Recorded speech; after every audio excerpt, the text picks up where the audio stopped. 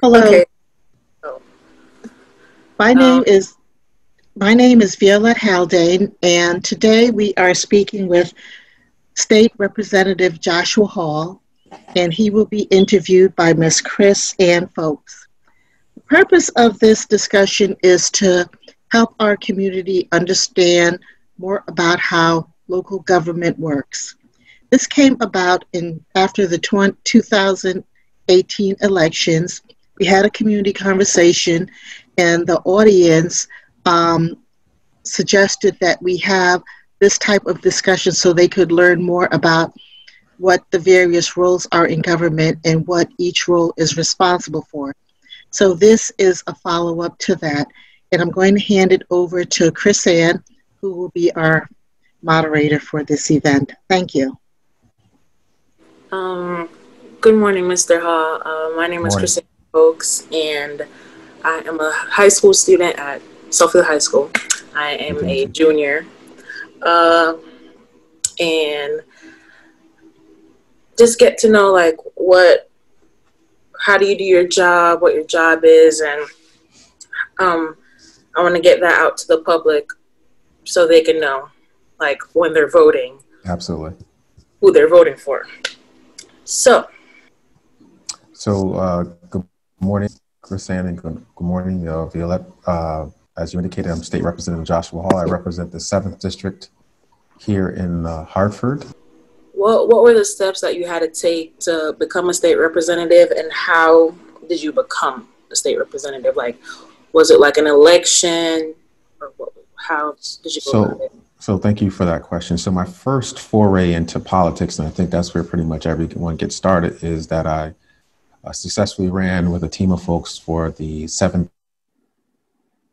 district Democratic Town Committee. So that was my first foray into politics. And essentially, the purpose of the town committee is to uh, endorse candidates for various positions, whether it be uh, register of voters, board of ed, state representative, and state uh, state senator.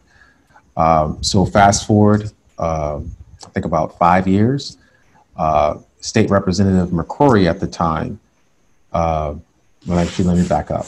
Uh, state Senator Eric Coleman uh, resigned with the ambition of becoming a judge, which he successfully did. Uh, so his seat became open. Uh, State Representative uh, Doug McCrory ran for his Senate seat, and he was successful. And so that that state representative seat opened up for the seventh district, and so I ran. I I wanted to be the Democratic nominee uh, for that uh, for that position. I wasn't successful in being the Democrat uh, nominee. Uh, however, uh, I was endorsed by the Working Families Party, and so there was a there was an election, um, and it was a three way race between myself, former State Representative Kenneth Green, and the endorsed Democrat candidate Ricky Pinkney. it was very heartfelt and hard fought campaign, and fortunately, I was I, I was successful in that in that endeavor. Uh, so that's how I became the uh, state representative. And so just so uh, we understand, Connecticut is different from a lot of states with regard to how campaigns are run, more importantly, how they're funded. We have state elections uh, program, which essentially allows uh, candidates to raise a certain amount of money, and that money specifically is if you raise $5,000 and then get 150 $5 donations from, or minimum $5 donations from uh, Hartford residents, as an example, uh, the state gives you uh, essentially the money to run a campaign. And so, what that allows for, uh, it opens a process up. Uh, we know that money, money in politics matters, uh, especially for those who have lesser means, and that sometimes is a, a hesitancy about running.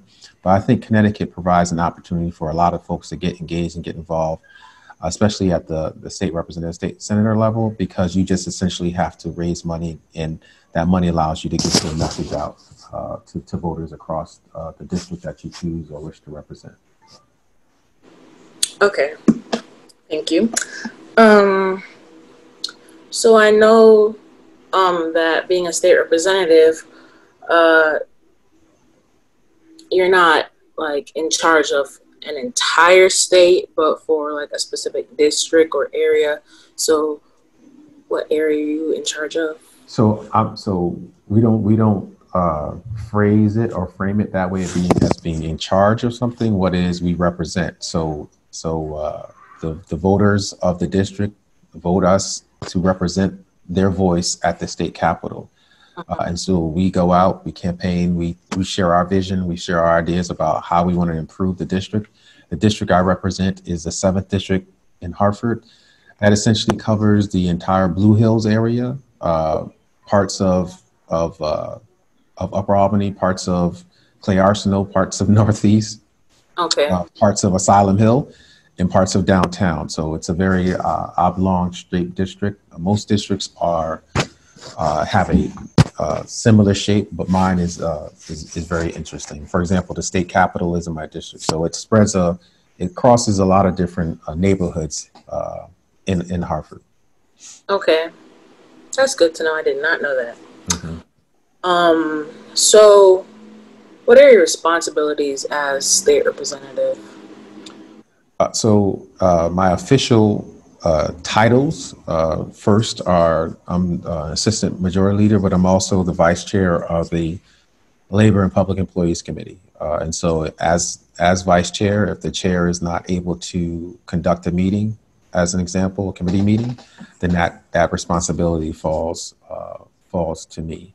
I am also on the transportation and planning uh, and Development Committee. And so uh, part of that is reviewing legislation, listening to constituents, uh, listening to uh, uh, special interests as lobbyists or other folks who uh, care about certain issues and, and taking all that information in and processing and, and trying to make the best, best decision possible. specifically for the, the folks in my district or for the, the state of Connecticut at large. I sit on the Transportation Committee and the Planning Development Committee, and I'm the vice chair of the uh, Labor and Public Employees Committee. Did you guys have a meeting to like vote on like how you guys you guys would uh, allow people, Hartford citizens, to um, take the bus without paying? Like, were you involved in that?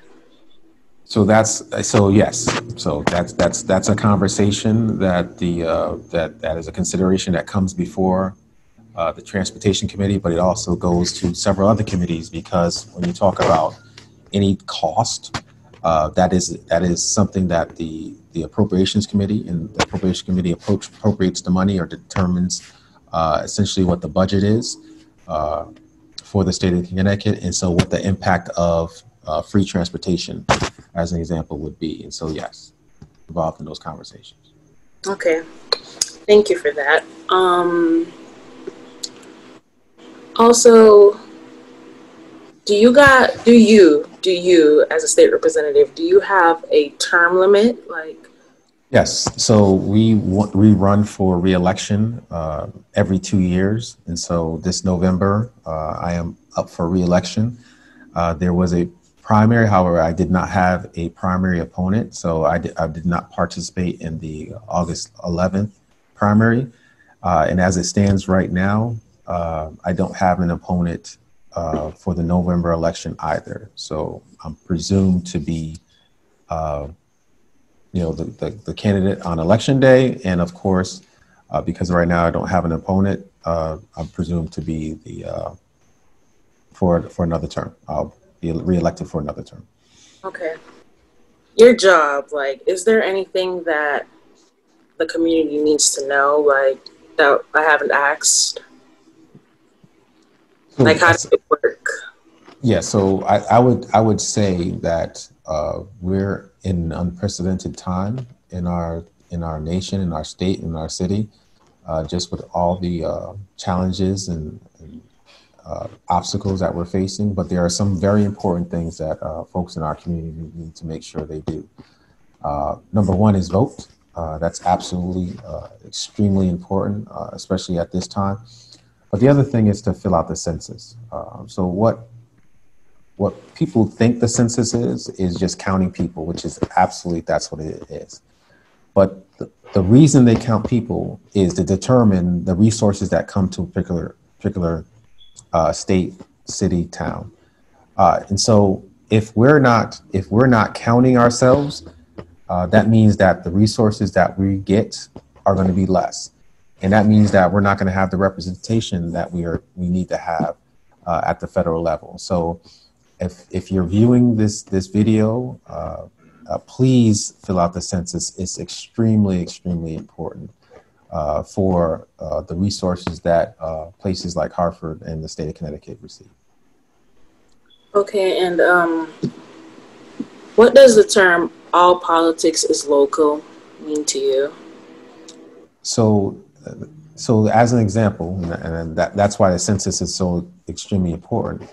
Resources, uh, to some extent, flow from the federal government, uh, and so they send money to Connecticut, and so then Connecticut send mon- sends money to the city. And so it's your local representatives that are actually determining how those resources, how that money is utilized. So, as a state representative, uh, part of our task is to make sure we send as many resources to our district, but more specifically our city, so they have the resources to, to address uh, the, uh, the, the challenges, the issues that uh, folks in the community want addressed and want, want dealt with. And so, but that, that, that power rests uh, largely uh, with your uh, mayor and your city council. And so the mayor and the city council are determining the resources that we, that they get from the state, which myself and the rest of the Hartford delegation uh, make sure uh, the city of Hartford has. They determine how those resources are being used. And so when it says all politics are local, it's your local mayor and your local city council and your board of ed for that matter who are determining the resources uh, and the decisions that impact you as a student uh, and other constituents, uh, your, your lives uh, on a daily basis. Okay, so I know it's not up to um, you as a state representative to determine like how the money is used, but you have um, standards and stuff Right. So let me yeah. So let me clarify. So there there are there are certain there are resources that we send that we can we specifically say that this money is for X or this money is for Y. But when I say but those those in comparison those that is small compared to when we send municipal aid. And so municipal aid is just that aiding the, the municipality or aiding the city of Hartford. When we send ECS, uh, the Education Cost Sharing Grant, uh, that is money that goes specifically to the Board of Education. And so we don't control how those, and so the bulk of the money we send, we don't have a say in how it's spent, right? However, there is money that, for example, uh, uh, when we get uh, asked for different allotments as far as bond dollars are concerned. And so that helps uh, the development at Westbrook Village or Bowles Park, and you see that housing development, well, that comes through bond money. And so we can specifically say that these dollars are meant to support this individual project. But the vast majority of the money that's sent to uh, places like Hartford, uh, Windsor, or Bloomfield, for that matter, come in the form of municipal aid or ECS grants, and we don't nec- we don't have a say in how that money is spent.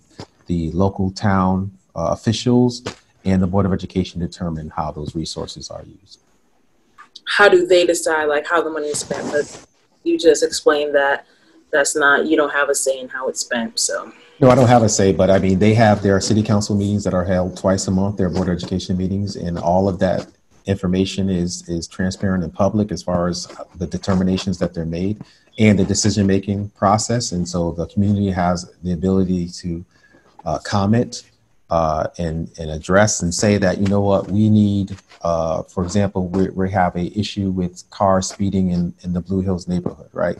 And so uh, one of the things that, that folks talked about is how do we get more speed bumps you know, or speed tables or speed humps.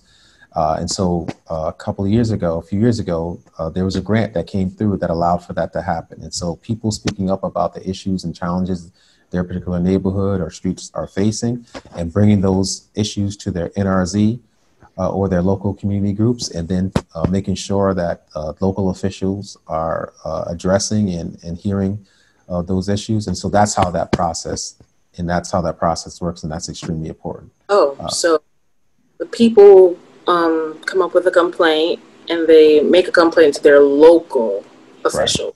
Right. And then the local officials um, make the complaint to who? So their their local officials, uh, if they don't have the resources to to address that, they would then call on the state representatives uh, and say that you know what we need money for this for X, Y, or Z, and then we go to our uh, at the state level. We then uh, petition to to ensure that those resources come to the city uh, for to try to address those issues. So that's how that that process would work. Okay. So so so in those types of circumstances, it's like it's a, it's a bottom up as opposed to top down. So as elected representatives, uh, what we what we always cherish and we always want is community engagement in terms of what are the needs of the community and what what does the community think it needs to make sure that the quality of life is enhanced. Uh, we have our own ideas, as like everybody, but you know, hearing from the community as far as what the, what the needs really are is extremely, extremely important and beneficial. Because at the end of the day, uh, we're here to represent your voice, uh, not our own voice, right? And so that's why it's important. How do we let people know how they should go about um, voting for their lo- local officials? Like, yeah. So uh, so during campaign season, so election materials are sent out of letting folks know when the election is and why they should uh, support a particular candidate. So all that information is sent out. But just as just as a representative, uh, part of my responsibility is to try uh, is to ensure a constant communication uh, and, and, and, constituent engagement. So we often send out newsletters with regard to the things that we're working on, the things that we're doing uh, and trying to make sure that folks are abreast of the, the, the different things that are happening at the state level uh, and how that impacts them in their community and in their city. Okay. Well, thank you. No, thank you. Uh, meeting today. I'm going to hand it back over to Ms. Haldane. Thank you, uh, Chris It was uh, great uh, talking with you, and I look forward to the great things that you are going to do uh, in your future. Thank you. Uh, thank you, Chris Ann. Excellent interview. And thank you, um, State Representative Hall. Really appreciate you taking the time out today to come and speak with us. And I know that you're busy, and I think we learned a lot today from this conversation. And we will be in touch with you. And we do have our takeaway that our voice counts and our voice matters. Continued success with your political career. Thank you very much.